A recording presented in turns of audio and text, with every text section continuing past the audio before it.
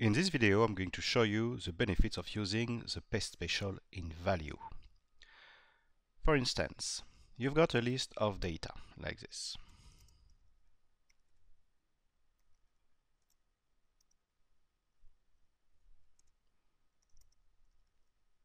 Okay, and you want to sort this list of data. Of course, all the string with a space before is on the first position. So what you have to do here, in fact, is to clean your data, and to do that you have the function trim. Okay. So now you can see here that you have cleaned the first space before the string. Okay, but it's not enough because here you can see that the value in the column B are the result of a formula. And what we want is to convert this formula as a value. So here, copy, paste special, so you can apply this one or this one to call the dialog box and you select value OK. So now you can see that everywhere you just keep the result of your formula and not the formula. If you have to create a training or demo with Excel, it's better to let Excel create the list of data for you.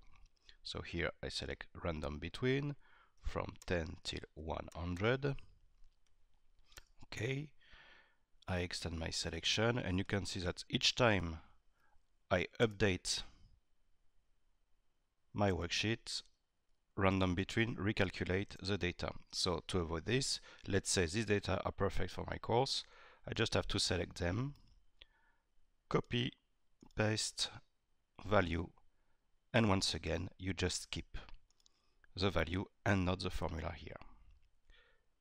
Last example, it's here. So I've got a very complex list with a lot of formulas here. And of course, each time I reload my data, Excel is recalculating all the formula.